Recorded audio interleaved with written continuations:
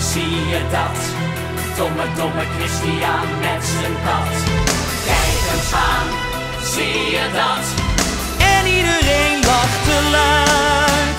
Hij is niet speciaal en niet buitengewoon bijzonder. Iedereen die hem maar kent